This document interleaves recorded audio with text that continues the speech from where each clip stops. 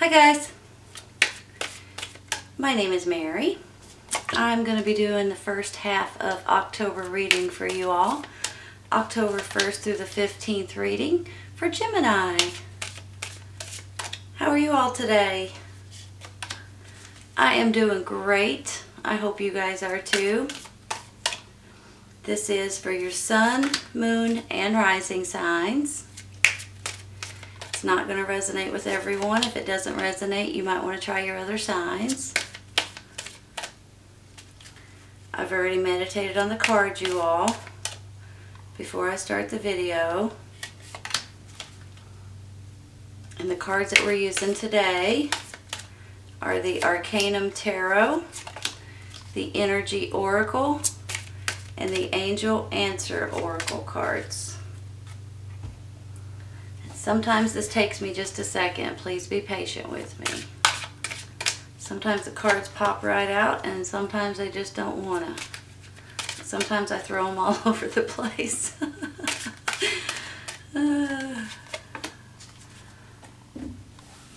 having a hard time shuffling today. Well, see what I mean? Bless my heart. There's one. There's the other. Okay. Let's see what we got. Two of Pentacles.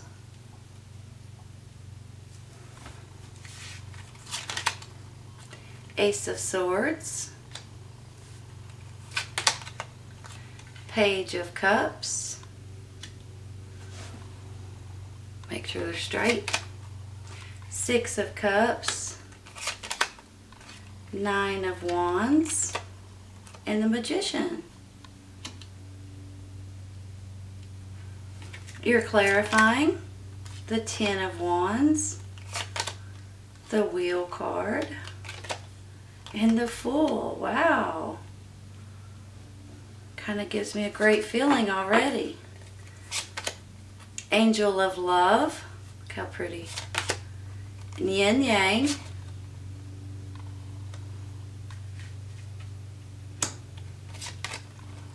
Listen to your intuition and wait. What are we waiting on? I guess we'll find out in just a minute.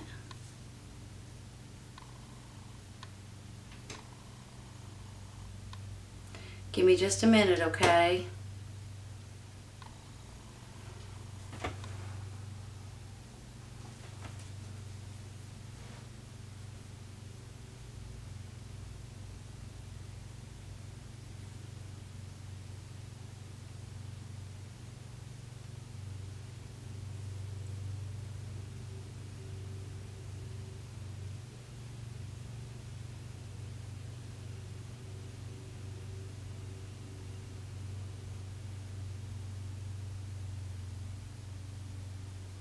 All right.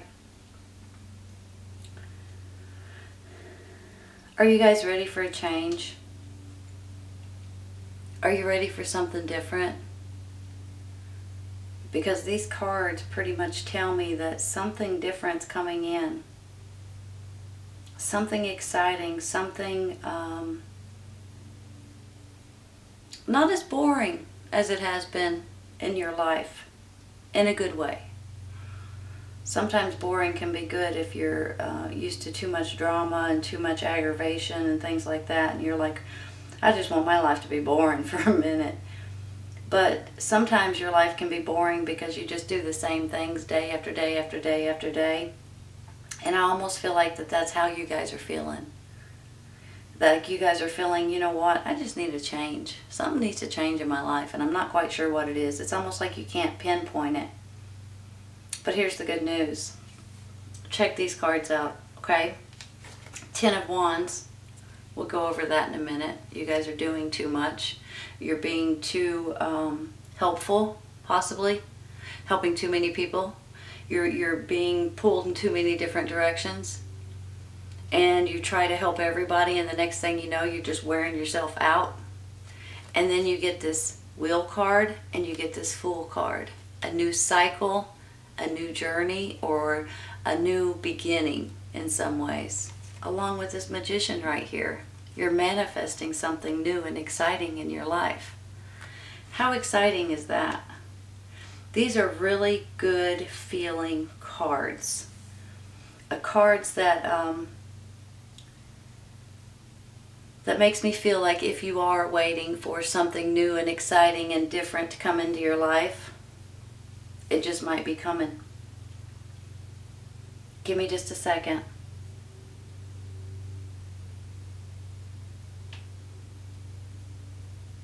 I almost feel like for some of you, especially with this Six of Cups, you're reminiscing about the past or a someone from your past or when you were younger or someone that's passed on possibly.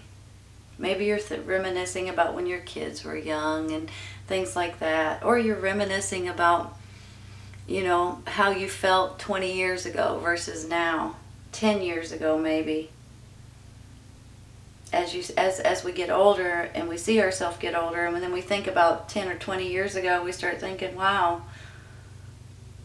not quite the same. So i'm not sure if this is like a health situation or if this is more like a, a financial situation or just happiness in general when back in the day when i get this nine of wands right beside it i feel like that he is nourishing, he is protecting, he is growing something that's important to him. Something that, um, an idea, a circumstance, a situation, a relationship, a home life, a career. It can go in all kinds of different directions. But it's like he, you know, this one particular wand he's focused on almost like he's growing a garden and he's he's babying it and putting it first. So it really gives me a good feeling that there's something in your life that's very very important to you and it very well could be your children, which of course if you have children they are very important to you. It could be family members. It could be someone that's passed on that you just can't seem to you know sometimes hold on, let me phrase this the right way sometimes when people pass on, not sometimes, you're Mary, bless my heart. When people pass away, you miss them like crazy.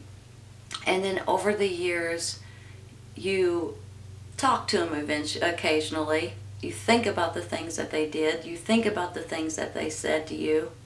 And for some reason, there's certain phrases or certain stories or certain situations that makes you think about them more often and I feel like that these are, this is one of those times when you're missing someone really, really badly, whether they've passed on or whether they were someone in your life before that you haven't spoken to, maybe that you've been into some kind of a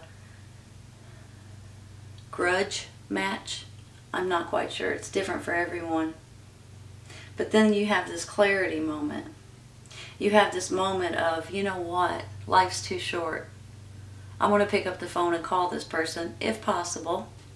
And if not, you're going to take these words of this passed on loved one or these uh, images or these memories and you're going to cherish them forever and you're going to use them in your everyday life.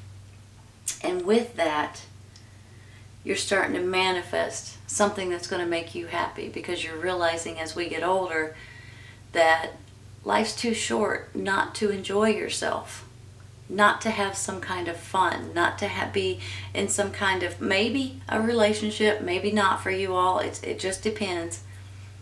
But if you're wanting to do something new and exciting and different like this fool for instance acting like a kid again taking a leap of faith taking a new journey in your life, doing something different, something that you've wanted to do, or something that you've just decided you thought you might want to try, it might be about time to do that.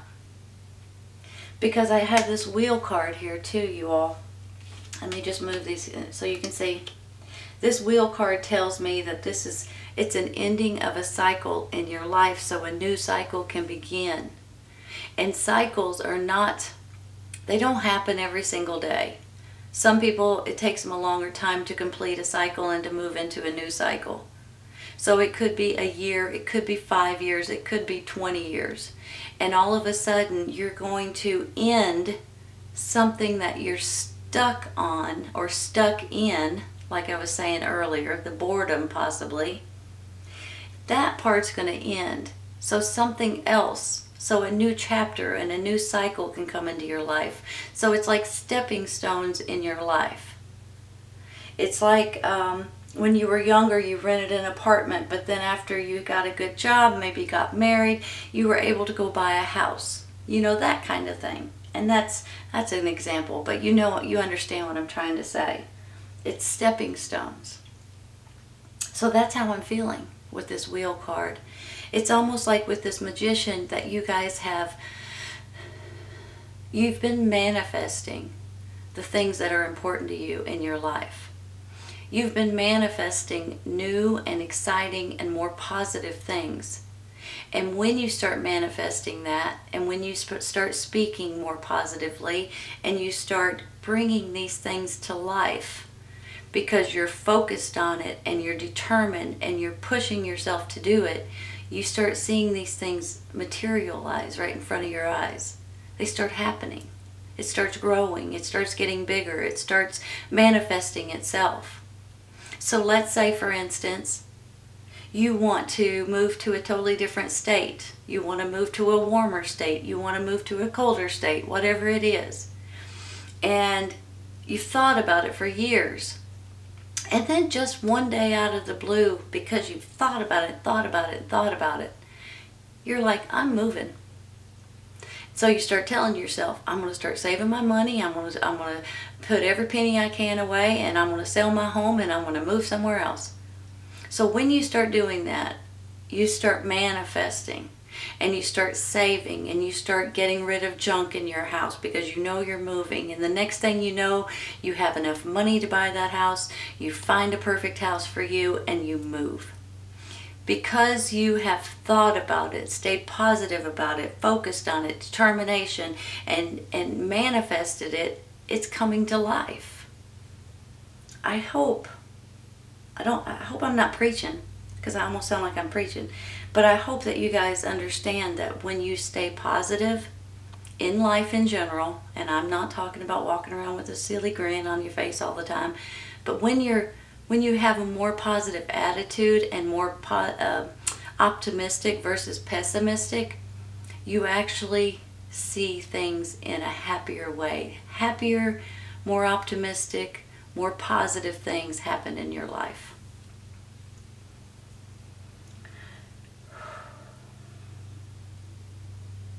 angel of love. You know, I'm not quite sure if you guys are in a relationship or not. Some of you are and some of you are not. I'm not quite sure if it's even that important to some of you if you're not. But I do believe that with this angel of love, you've got somebody beside you that wants to show you more compassion or give you more compassion. Help you realize that you have, I, want to word this the right way, so bear with me for just a minute.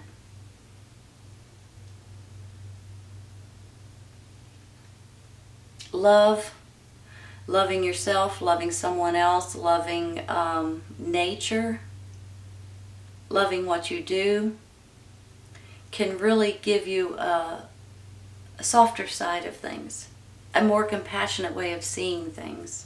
And that's how I'm feeling with this angel of love. Some of you if you're if you're single and you're wanting to move to a totally different place and you're like, "Holy crap, how am I going to get how am I going to get the people to help me do this? How am I going to get the, you know, funds? How am I going to and you start panicking a little bit because you may not have anyone in your life to help you move. But I have a feeling that you do. You have loved ones in your life that would be more than happy to help you. If you'll ask, that is. And then when I see this yin yang and I see this listen to your intuition, You guys are um, an air sign. You're always thinking ahead of time. You think logical versus, you know, non-logical, I guess. You're always using your your brain, and and that's a fantastic thing. That you're very intelligent, and you're always looking at everything logically. But then I get this listen to your intuition and this yin yang. And it almost makes me feel like, you know, sometimes it's your intuition versus your intelligence. And you guys might be fighting with which one you should listen to. Because you're saying, my gut's telling me to go to move to this place. But then your your your um, your your mind is saying, wait a minute, can we afford it? How are we going to get there? And and don't get me wrong, it's that sounds bad when I say it out loud. I'm not thinking it like of it like that, but sometimes you have to go with your gut. Sometimes you have to go with your intuition, and especially when it's telling you to. Especially when your gut's saying, you know what, you don't need to take this road, for instance. You know, one sometimes I'm driving down the road and I'm like, something hits me just like that, and I'm like, I'm gonna go this way just because it, it takes longer to get home this way, but I have a bad feeling about this interstate right now. Have you guys ever done that? And when you take that way, you don't know if you've if you've prevented yourself from being in an accident or anything, but you feel better about the decision. And that's how I feel about it. Almost like you guys are trying to talk yourself out of doing something that you feel like you should do. And that's where this fool's coming in. That's where this new cycle's coming into your life. That's where this magician, when you guys are manifesting these things, possibly getting a message from someone, or this is your emotions.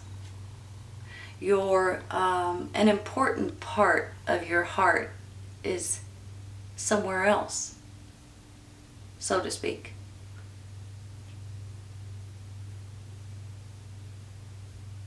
I believe with this Two of Pentacles, you're going to have options.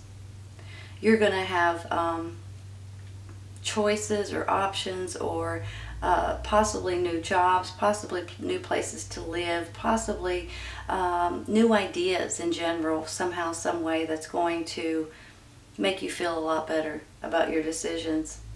Now, I'm not telling everybody, don't get, don't take this the wrong way. I'm not telling everybody to pick up all your stuff and move across the country. Please don't take that the wrong way. I'm saying that there's something that you guys have been thinking about, that you guys have been wanting to do, and maybe it's moving back to your hometown when I get this card too.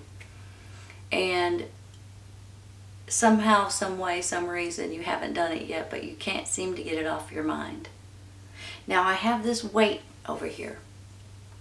And just like I said earlier, you know, maybe there's finances that have to be put in order. Maybe there's, uh, you have to sell your house first. Maybe you have to buy another house. Maybe, you know, so it's not like you can just say today, oh, I'm moving to a totally different place. I'm going to, you know, leave right now and get there. You, you guys know what I'm saying. You have to take baby steps to get to where you're going. You can't just do it all in one day.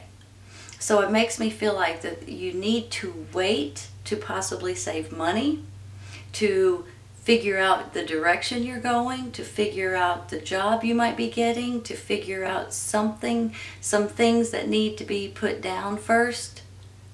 But it also says listen to your intuition. So if you listen to your intuition, I think you'll make the right choice for you. I really do. And you guys, I know I said about moving somewhere, but this could be as simple as switching jobs, switching careers, talking to someone and sticking up for yourself. Um, things like that. It, it doesn't always have to be you moving somewhere different or something like that. It can be something so simple and so minor. But some of you are moving. Some of you are traveling. Some of you want to do something completely different with your career, with your um, work life, with your home life, with your circumstances. Maybe even going back to school. Gets me excited for you. Excuse me, excited. Had to take a drink of water. I was about ready to start choking. But I get excited. Give me just a second, okay? I'm going to rearrange. Okay.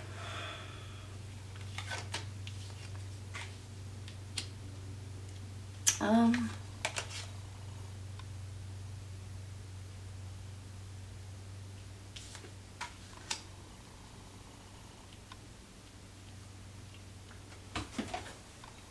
I hope they're straight, you all. Here's the thing. I've got to make it quick because I've been talking too much. I'm sorry. But here's the thing is I believe some of you guys just work too hard. You do too many people too many favors and then all of a sudden you're just plumb wore out. You've been pulled in too many different directions with this card. And then with this Nine of Wands, it's almost like you have something specific that you're nurturing, that you're growing, that you want to take care of or move to, for instance, or switch careers or go back to school or even children in your life maybe. Maybe it's your hometown, like I said earlier. Then I have the Six of Cups, and that really makes me feel like you're reminiscing about the past, possibly your childhood, or maybe your kids.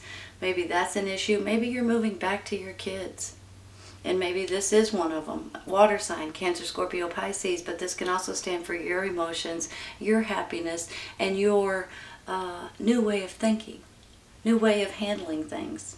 He can also stand for a message coming in for some of you which could be leading you down to, to your new your whole hometown back in the day. Not that i'm saying everybody's moving back to hometown but you understand what i'm saying Two of Pentacles, I feel like there's going to be two choices for you guys, and you're going to be tickled about these choices. This Ace of Swords is like a clarity, a truthful moment for you guys, a new chapter, a new beginning, and a new way of thinking. Then I have this Magician, like you guys have been you either have been or you're about to start manifesting what's important in your life. Like I was saying earlier, if there's something that you want, stay positive about it, stay focused, stay determined, push yourself to get there, and the next thing you know, you're there. Right? Then I have this wheel saying this is an ending of a cycle and a new cycle is about to begin. And new cycles can bring so much happiness to you guys if you allow it to. Possibly a new journey in your life a new, maybe traveling somewhere, moving somewhere different, um, taking this leap of faith, acting like a kid again, taking a risk, something that's going to make you happy instead of everyone else around you possibly. And then I have this wait, so it's not like you can do this tomorrow. But I do believe that if you're wanting it, start manifesting it, start saving for it, whatever it is. Start looking into it to moving forward. And then listen to your intuition. It's not always your intelligence is fantastic, but sometimes your intuition and your mind will go back and forth like this yin yang. Totally opposites, right? It may not be logical, but your intuition's telling you to do it. So I always believe that your intuition won't steer you wrong. And then this angel of love, it's like you have an angel that is helping you. If you'll ask your angels to help you, guide you, protect you, look out for you in any way possible, they will. And they're wanting to. This is a good reading. This is a good feeling that I have. If you guys are wanting some kind of a change, whether it be small or big, I think now might be the time for you guys to start looking into it. I hope you guys have enjoyed this today. This is your first half of October reading, October 1st through the 15th reading for Gemini. I hope you guys have enjoyed it, and I hope you guys come back and see me. Take care, you guys. I'll see you soon.